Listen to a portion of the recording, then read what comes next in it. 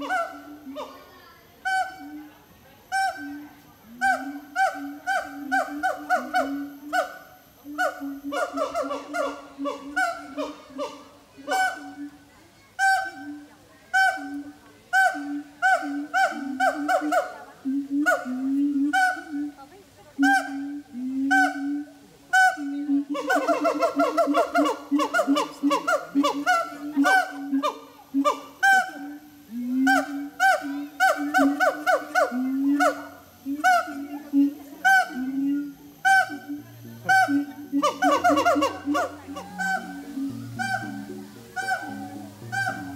Oh.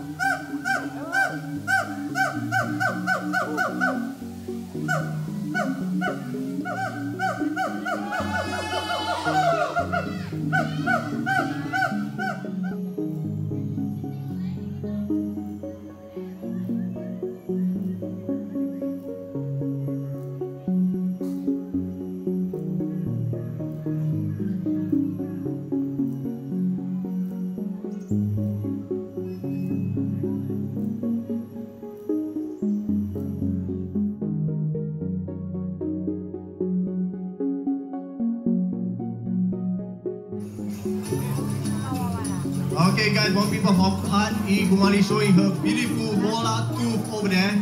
Each of these molar tooth can weigh up to 1.5 kilos. They got four set of this molar tooth. So they're carrying around 6 kilos of molar tooth inside their mouth. In their lifespan, they can grow up to 6 times, maybe about 7